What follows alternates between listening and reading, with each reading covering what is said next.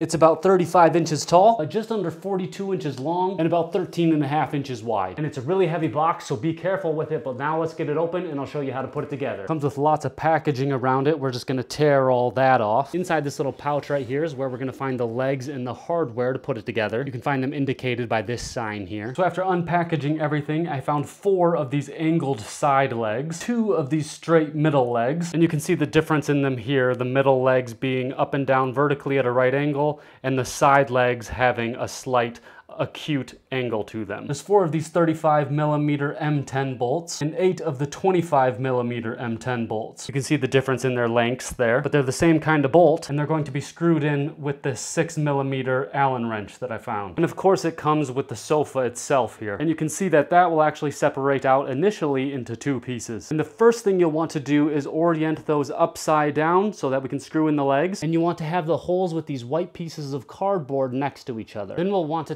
take the middle legs along with the larger 35 millimeter bolts and screw them into place like this. And at first I'm going to use just my hands to get them into place. You can see they drop in quite easily. And then we'll switch to the Allen wrench to tighten them all up. And I'm not going to tighten them down as much as I can until all four have been screwed in. Now that all four have been screwed in like this, I'm going to go one by one and tighten them all up. After tightening the first one, you see there's no wobble in it. And we have the same result for number two here. Now for the next step, we're gonna take the four angled legs and bolt them in place with the 25 millimeter bolts. Now an important thing to remember here is that you want all the legs to be angled outwards away from the center of the futon. So this one will look like this, this one will look like this, this one will look like this, and number four will look like this. And we're gonna do the same thing as before. Drop the bolts into place with your hand, give them a quick tighten like this, and we're gonna do that for all four legs. Now we're gonna go through one by one and tighten them all up.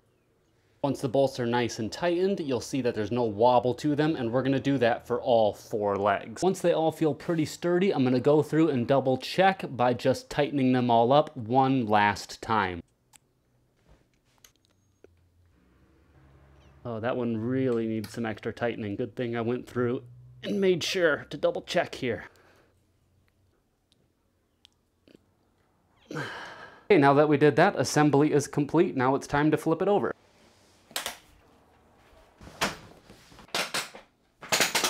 And I think it's gonna be easier popping up this backside just a little bit before flipping it.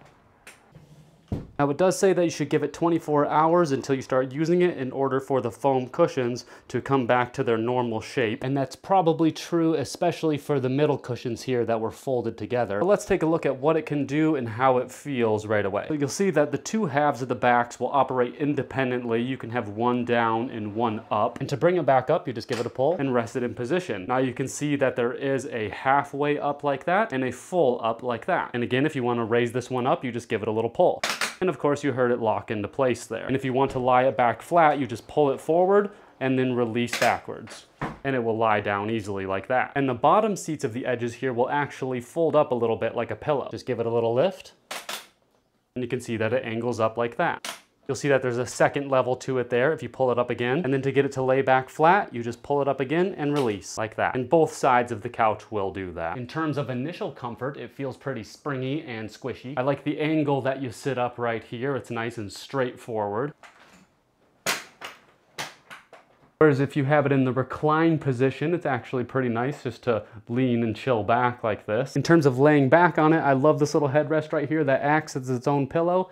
And in terms for the back right here, it's not the softest, it's pretty firm, but I like that because I feel like I have a lot of back support here. Same thing for lying on the side, I think it's gonna be good for a nap. For someone who wants something that's really soft to sleep on all night, maybe this might not be the best choice. And you'll see that at six foot one, when my head's rested on this, my feet do hang off the edge just a little bit. And you can see with it totally folded back here, there's definitely room for two people to sleep on it. So if you're looking for a stylish futon that's really easy to put together and has lots of versatility, this could be the one for you.